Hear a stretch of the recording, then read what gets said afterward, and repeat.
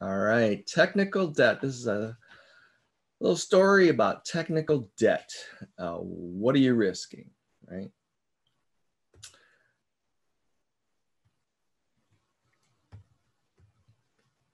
So this is the US national debt. We are now, as of last night, at $27 trillion. Uh, your share is only 217,000. So if you just want to make a check out to the US government and help pay this off, you only need to pay about 217,000. That shouldn't be a problem for some of you. It is a problem for me. Interestingly, our GDP, debt, debt to GDP is 154% now. So we owe more than the country produces. Mm-hmm. Fortunately, we don't have to pay this debt off. In perspective, I would say your technical debt, your debt is not this bad. And hopefully it's not this bad. If it's this bad, I would I'd be very worried. Um, so, but I thought this was very interesting. But this is not the technical debt we're talking about. This is not the debt that we're going to cover today, fortunately, because we would never solve this problem. So let's talk about what we're going to talk about today. This is the agenda. We'll do an intro, background, uh, before open source, after open source, high level stats. How did we get into debt? But more importantly, how do we get out of debt and what am I risking?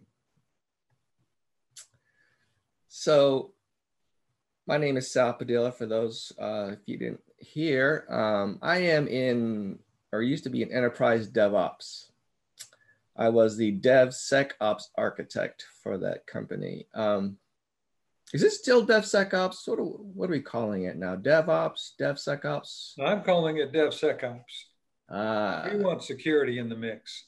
that was a long debate we had on LinkedIn. That was pretty fun. It was. Yes, it was. It, it was. Uh, in, it, it, was interesting to see where people's thoughts were on on that.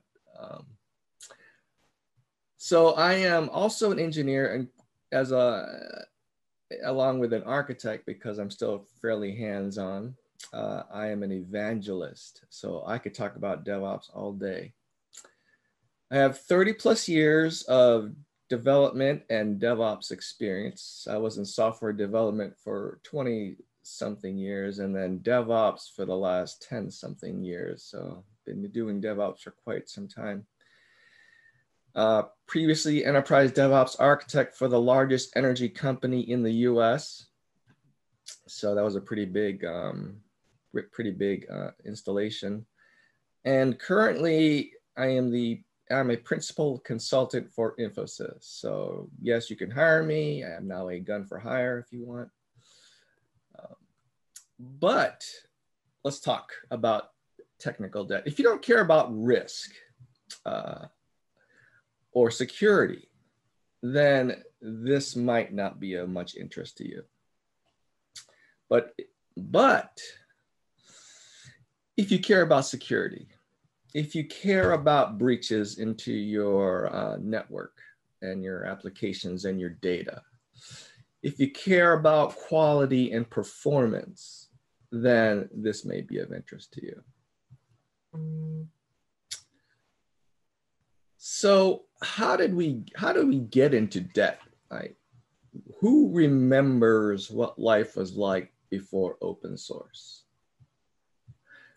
So does that computer look familiar to anybody other than me? Because that would be bad.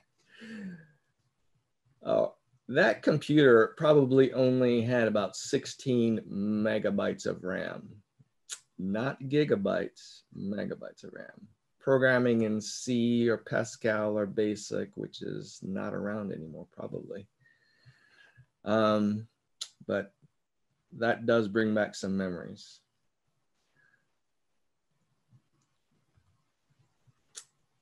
So 0%, what was 0%? Can anybody guess what 0% was?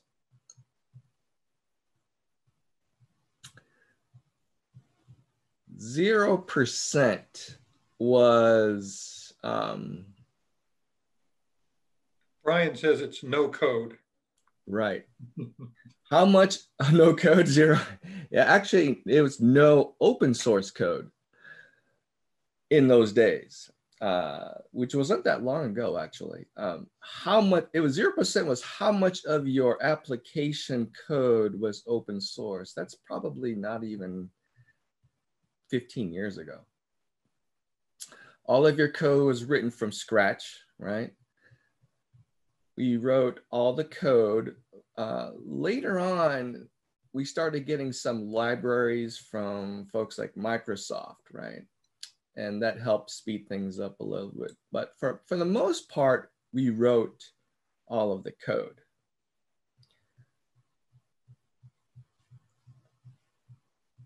Eighty-five percent. So can anybody guess what eighty-five percent is? I can, but I don't think it's fair because I think we created that statistic. 80, I don't, I can't see the chat actually, but I don't know um, if anybody's doing a chat. Yeah, they are. If you mouse over the bottom of your screen, uh, it'll fly up and then you can click the chat button there and see what everybody's talking about. Let's see. I'm trying to, oh, I just I just showed you the answer. 85. Um, actually, Mark, if you can read the chat off, that would be actually helpful. Sure. Michael says 87.93% uh, of statistics are just made up in the moment. close, close. I think Michael just made that one up. 85% is how much of your application code is now open source? So in modern software development, the way we write code, the applications these days, you could expect up to 85% of your application is open source code. So we went from zero to 85%, which to me seems like overnight. And the 15% that's left is really just business logic, right? Or some glue code to basically glue all the logic open source code together. And this is this this was a huge paradigm shift. This is incredible. We started delivering, writing and delivering applications at amazing speed because we were no longer writing the bulk of the code. We just had to glue everything together. So, but does anyone remember what their thoughts were about open source when it first came out?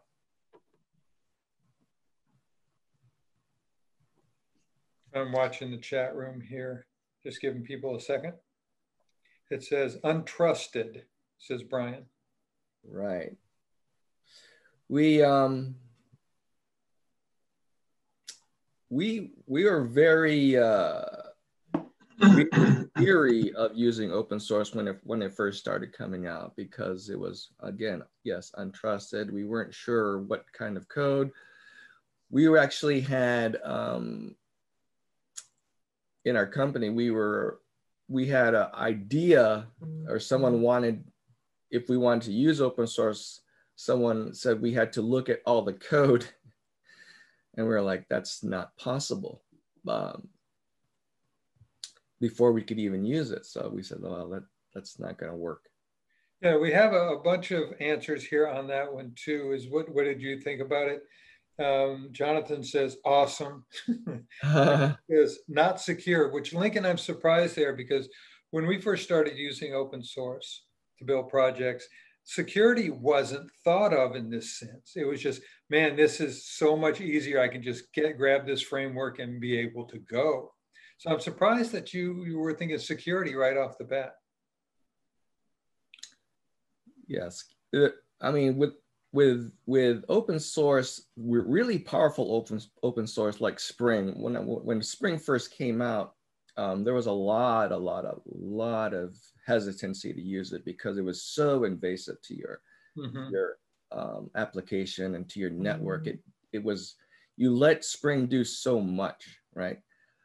Um, but then again, but now everyone's using Spring, so it, everyone just grew to trust it. But in in those days, um, this wasn't just a simple widget, right, of code that just displays something. This was connecting to your internal systems like LDAP and, and security systems. So that was that was very that was that took us some time to really get comfortable with that. But now everyone's using it and everyone uses it to basically do the security with Spring Security. But so we've come a long way. But and we're developing applications so much faster now. 51%.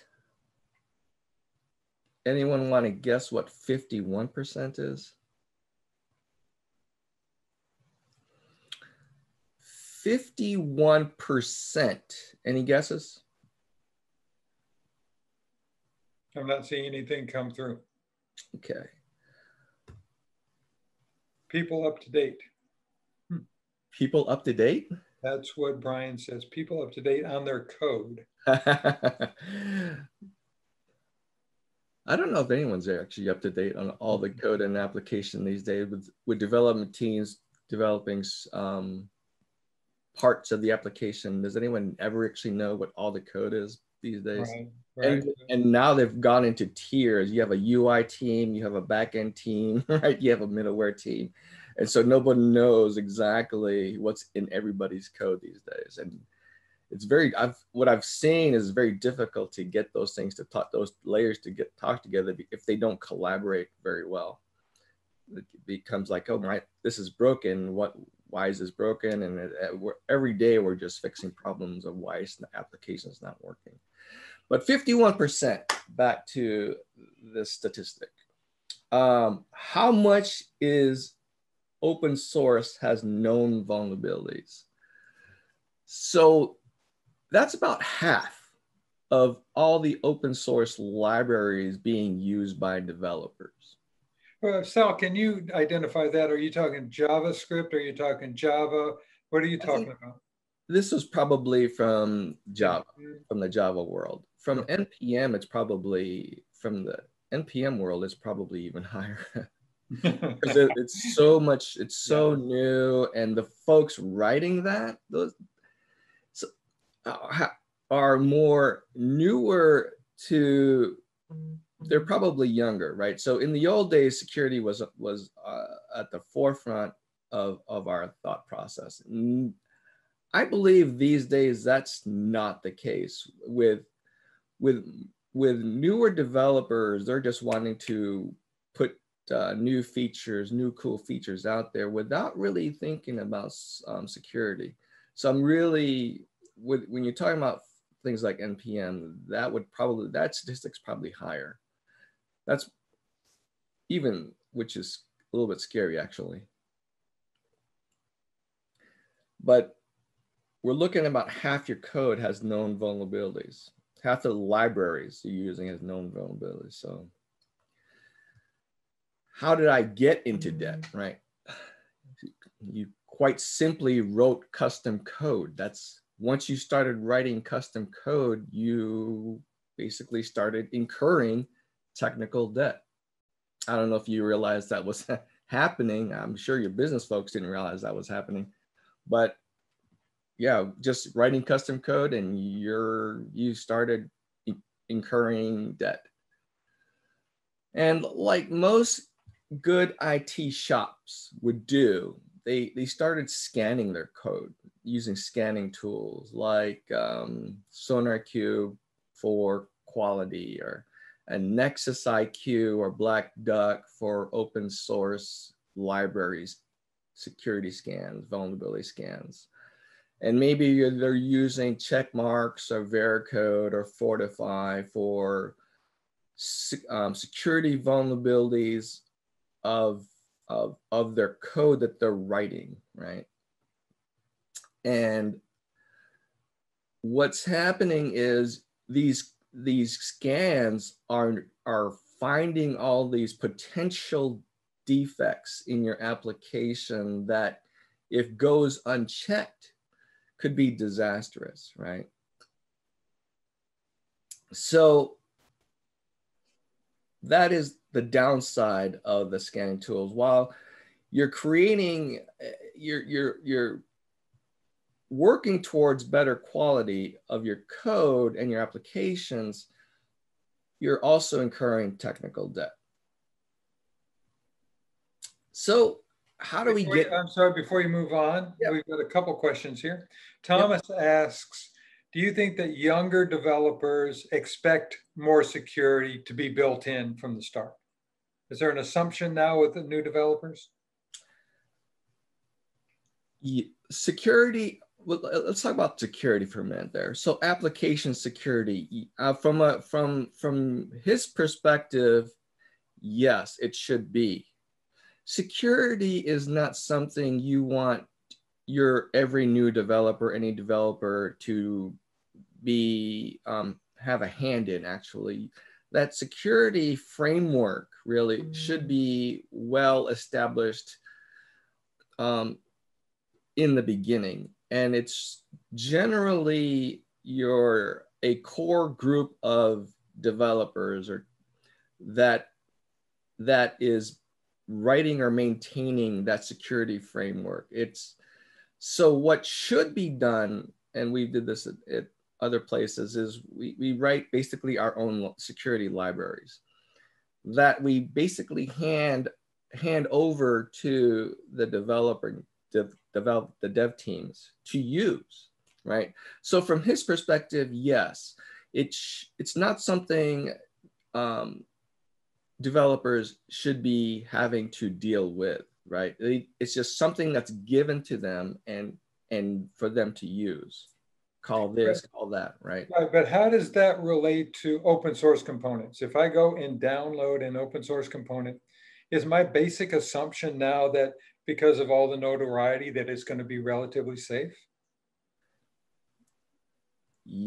Well, that's a good question. Let me come back to that one because okay. I think there's a there's a slide where we talk about that. All right, then we've got another question here that says, so many vulnerabilities are undisclosed to the masses until their use has waned.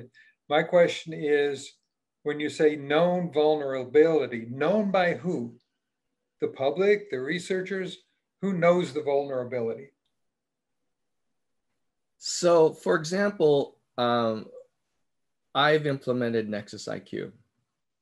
So, and, and I'm very familiar with Nexus IQ. Uh, I'm not as familiar with how Black Duck does it, but there's a there's a there's a um there's a no there's a there's a group that publishes uh, vulnerabilities around open source. I can't remember the exact name of it, but Sonatype, the, the, the vendor for Nexus IQ, um, also has their own folks, right? So, so there's a central group that is looking at it, at the open source vulnerabilities, but then you also have the Sonatype folks with their own folks um, going through those, with whatever is published, and also finding their own. And I'm sure they publish back to the central um, central um, central mm. uh, group. But there is a central group, and I don't remember. Mark, do you remember what that central group is called? Are you talking about the CVEs? Uh, everything? Yeah. yeah. Right. Um, I can go and look it up. I don't I always remember the acronym. I don't even remember the name anymore. Right. I, I'm I'm pretty sure Black Duck subscribes to that um, same group. But basically, there is a group that is looking at the open source vulnerabilities. But the um, I know I have another client that's also using Nexus IQ, and but they That sonatype also has their own folks. Does that answer your question? Yeah, I think so. I'm, I'm just reading from the, the chat room. That was good. CVE, Common Vulnerability and Exposures. There's a group that actually manages that whole process. I think that's what you're talking about. Um, are we uh, slowing down your presentation or do you want more questions? I got more coming. Um, no, we're good. All right. Paul says, what questions should developers be asking if they don't hear from their teams about security components? So if there is not anything built in, if there's not an automated process for looking at components, uh, what should what should developers be asking? Let me table that one too, because there's another slide that talks about that. That's fair enough. Let's move on. Okay. So how do we get out of debt, right? We don't we don't give the government two hundred seventeen thousand dollars. That's for sure.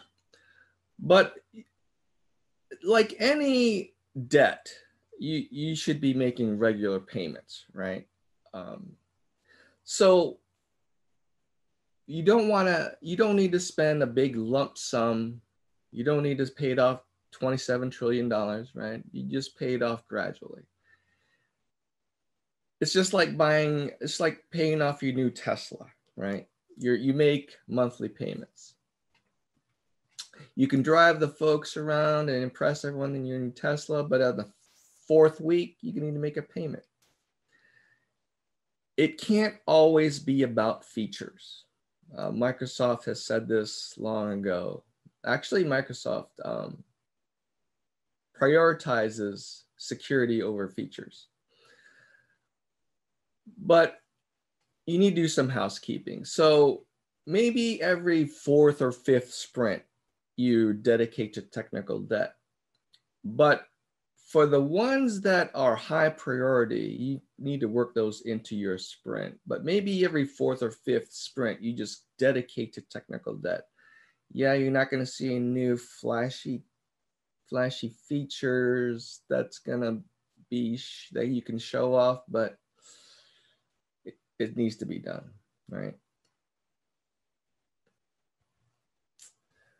So what can you do? What else can you do? don't spend, right?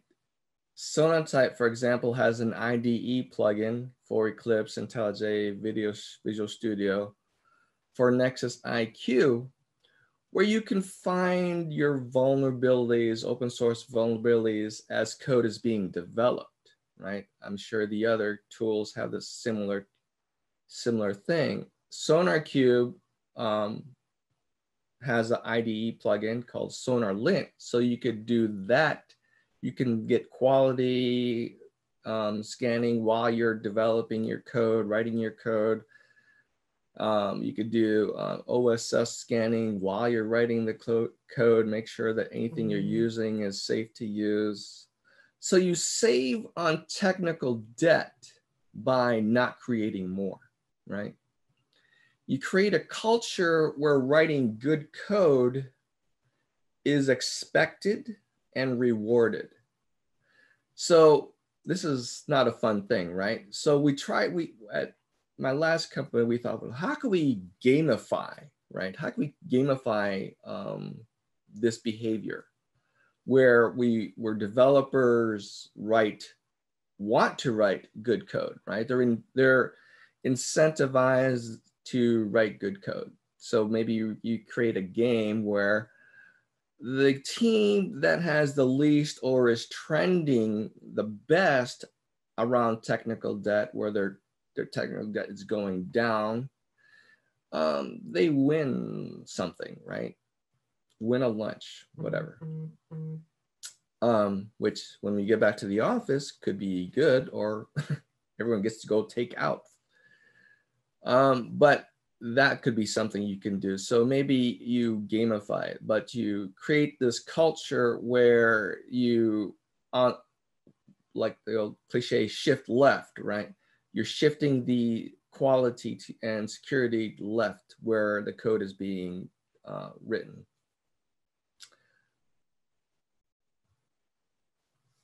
Um, invest wisely.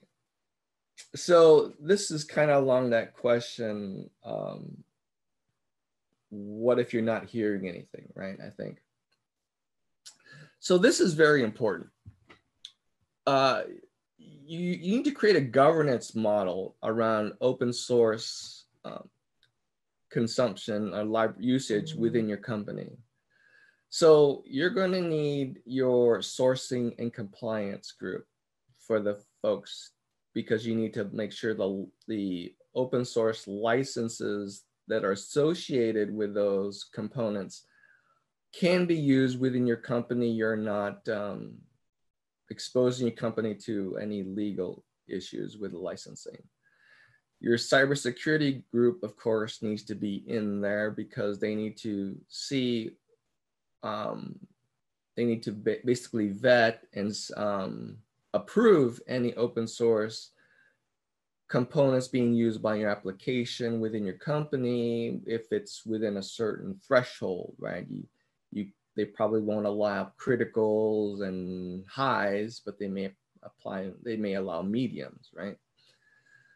Um, and then you also need your enterprise software development governance group um, most folk, most companies have that where um, you have your mostly architects and lead tech leads, but they all need to come together and agree and create a plan on developing standards and processes around open source usage. Um, when you get all those groups together, you get their buy-in. Um, you create DevSecOps champions to help socialize this. But what what should be happening is the the the if you if you're if you're doing your development, um, if if you're doing your development and you're doing your scanning during development, and then you're also doing your scanning around in your pipeline and you're scanning on every build or every other build or month or week, however you want to do it, um, there needs to be th- those those results of those scans are are available or pushed to your dev teams as far as what it, what what the scans are finding, right? So you find it while you're developing, you find it during a scan. And your, your dev teams and your product owners, it's up to them to, to prioritize those, those defects and make sure they're taken care of. So one of the things you'll want to discuss with your OSS governance uh, governance is around strategy. There's there's several strategies you could take around open source. Um, you could block everything, which some folks do that. You can block nothing and find it later on um, before it's deployed to production during the um, during the development phase and testing phase, right? Or you can block some things. Um, another shameless plug for um, Sonatype is they have Nexus IQ Firewall, which is actually pretty nice. So you can block some things with with um, certain rules. Like for example, you will block things where license classification could be license banned. So anything with license banned won't even come into your company's ecosystem. They, they, they, your, your dev teams won't be able to use those, those components. Um, so that's another way you could handle it. I've, and it really depends on the size of your company, the number of developers, how far you are, how how much of uh, how much you ha already have within your ecosystem, or if you're starting out um, new, which probably not, you could block everything and do it that way and do a whitelist right? You could do a whitelist. We've done that. I've done that before. It's doable, um, but at scale, it might not be. So you really need to think through that.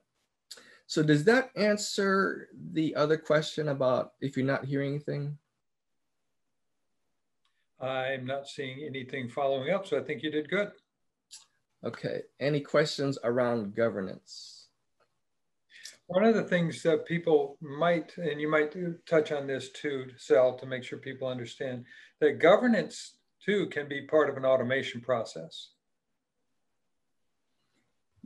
Oh, your yeah, your automation process will definitely feed in into that governance model uh, because because your automation is doing is finding all of that right? Mm. is, is finding all the libraries and code that um, could potentially expose your company right? So the process your automation is going to be part of your process your governance process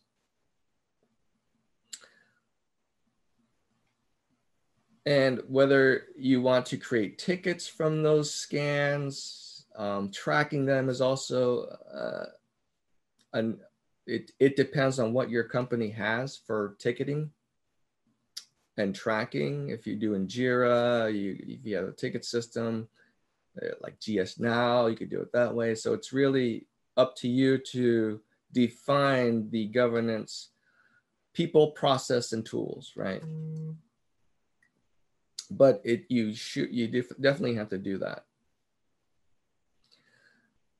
So the net other thing about investing wisely um, is you want to create a core working team on cleaning up and maintaining rules and policies that these scanning tools are using. Um, these these rules and policies um, can create unnecessary technical debt. So you want to go through each rule and policy, and you may want to change their rating. Perhaps you may not think they're high or critical. Maybe you want to downgrade it. Maybe you want to upgrade it. Maybe the threshold is too low. So if it, uh, so I mean, for example, if it, if we've tweaked numbers on SonarQube, but if it's this many, nah, that's not too bad. Let's change it to double that. And if it gets double that, then we flag it. So you'll need to put together a team of experienced developers and cybersecurity folks and sourcing compliance folks, maybe to go through the rules and those policies. Now, I'm not going to sugarcoat it for you. This is time consuming and tedious. Trust me. It, it's going to require several meetings, hours long. But it's once. You, you do it once. Uh, that's the good part. It's, it's a one time pain. And once it's done, after it's done, then it's just maintenance. So that's much easier to then it's just maintenance mode. So it's, that's much easier to do then. So really you need, you need to suck it up and do it because those rules, I'm, I'm, I promise you they need to be tweaked. They're very strict and they could create a lot of noise that you may not think is, is um, really pertinent to your company or your team. And what this also does, it doesn't create a behavior for your dev teams to ignore, right? So if you, if you, that is the worst thing that could happen is they get conditioned to ignore the scans because it, they basically see it as a bunch of um, what noise. So that's why you really need to clean those, those rules and policies up so that they don't get conditioned to ignore it, that whatever is flagged does need to mm. be addressed, does need to be looked at, right? Any questions there? Nope, looks like you're doing good. We got about 10 minutes left. That should be perfect. So how do I get my company to invest in paying for technical debt? That is the big question, right? And the answer is it's not about the money you can make. It's about the money you won't lose, right? And it's not and and once they understand that, once you're it's very hard for your product owners to to get this. I, I've been there. It's like I want new cool things I want to do this. I want to quick, fast to market. I want to attract more customers. Um, but the bottom line is it's about the money you won't lose. And it's not even just about money, right? There's legal exposures that they don't see. There's reputational exposure that they don't see. There's brand exposure that they don't see. Uh, there's DevSecOps' new favorite example. Think Equifax, right? Your company will be the our new Equifax when we do. Um, well, you you don't want to be them, right? You don't want to be Equifaxes. You don't want to be the new Equifax. You don't want to be the new the new company in all our in all our uh, conferences that we're using as an example, right? And these are things that they don't see or feel, right? They can't put their hands on it, but this is what you need to basically um, explain to your product owners, to your business, that this is what you're risking by ignoring technical debt. You know, Sal, you, you make a really, really good point. I mean, Daniel Kahneman actually wrote a paper that won the Nobel Prize on this kind of thing. that what you're looking at here is you're talking to the business now. You're not talking to the developers.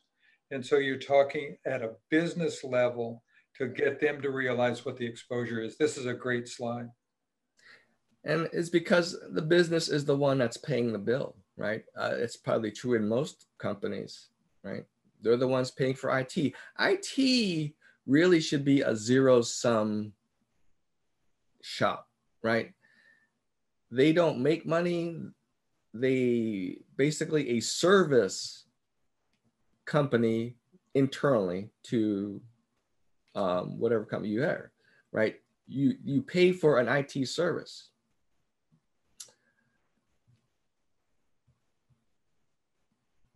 Any questions there? And also, a Lannister always pays his technical debt.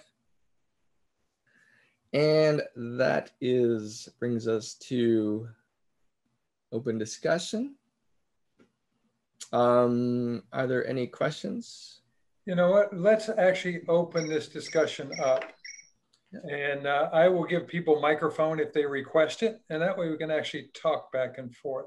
Yeah. So let me know great. if you've got a question here and we can do it.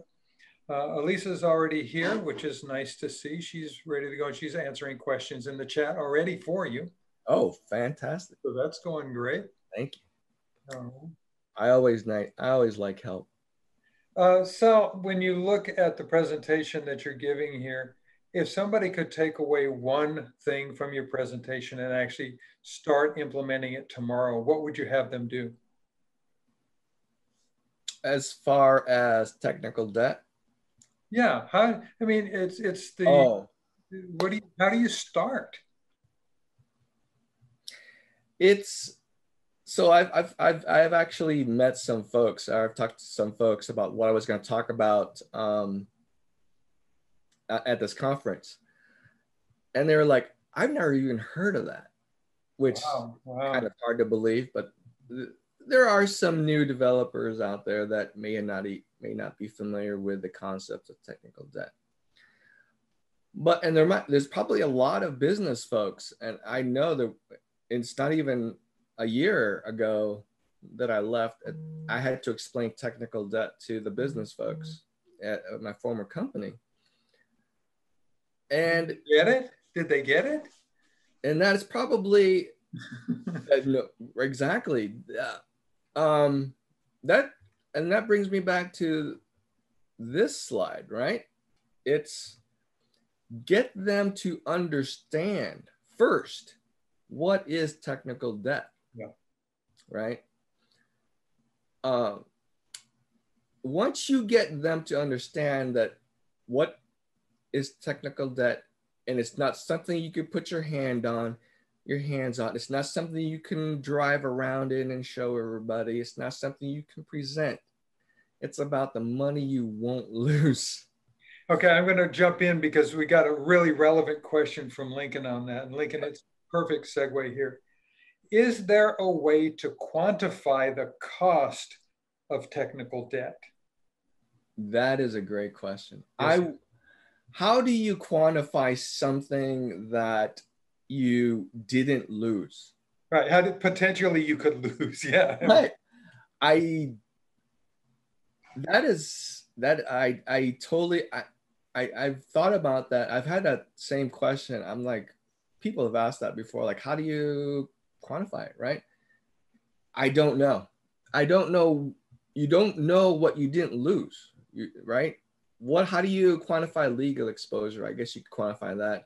Reputation, brand, right? Let's back up. Legal exposure is pretty easy. If you used an open source component that says if you use me, you have to give your software away for free. Right. Absolutely. you can measure on that. Right. Um, the reputation and the brand exposure, you know, those are tough because there isn't any quantifier on that. Right. Exactly. There's. we do know that Equifax, we have real hard numbers from Equifax, and that's why they're the poster child yeah. you don't want to be the new poster child. Yeah. I mean, Equifax is now a verb. uh, and I like those guys. I know them, so I I can say that in jest. But, um, you know, now it's a, Lincoln, you have a really, really good question. That's a business model waiting to happen if you can figure that one out. You could, if you figure that out, please uh, put a talk go uh, please speak at the next conference because i i'd it, that'd be that there'd be a lot of people that would be interested in how you quantify that it's like how do you quantify something you didn't lose or don't yeah. You've got matt here and bob who have a discussion going on which i think is pretty cool but one of the things that you can do is look at the probability of something happening and that's what the bean counters do right the legal team it used to be the legal team would look at it and say, if that exposure happens, we're exposed to this much risk. It's going to cost us this much to fix it before it, it's worth taking the risk, right? So the legal team could actually look at it in that sense. But now things are getting so much more complex. I don't know if that's viable anymore. Yeah, I don't know if anyone's got this answer about quantifying technical debt. All right, Lincoln, I think you just won the technical debt T-shirt of the day. All right, Sal, always good to talk to you. Um, got a great uh, thing going in the chat. I'm actually going to save the chat for myself because there's a lot of good stuff in there. If you'd like to get hold of chat, uh, get hold of chat. If you want to get hold of Sal, you can. Uh, yeah, you got the answer. you must have had just a, a pile of jokes once that came out about Sal uh, and uh, Breaking Bad. That you must have just been hammered. Uh, no, I actually didn't. No, all right, good. Thank goodness.